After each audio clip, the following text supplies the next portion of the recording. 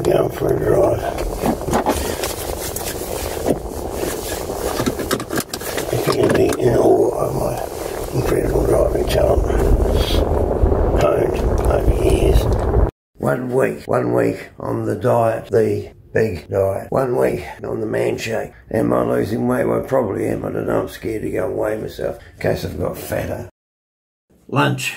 We've just finished lunch. The diet.